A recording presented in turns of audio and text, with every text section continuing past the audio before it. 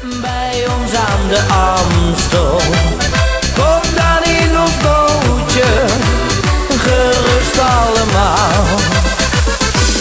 Maar op een morgen zei plotseling Nelis Kijk nou eens Leentje hoe dat nou toch komt Ik zit hier verdorie met mijn voeten in het water Er zit een gat als een vuist in de romp Het water steeg snel en de meubels die dreven kans op verdrinking die was toen heel groot. Want geen van beiden konden ze zwemmen. Ze dreven de deur uit op een tafelboot. En we hebben een woonboot het ligt aan de Amstel.